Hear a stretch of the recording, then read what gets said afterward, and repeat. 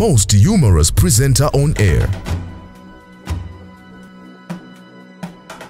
And the nominees are Daywalker, Richmond Siakurima,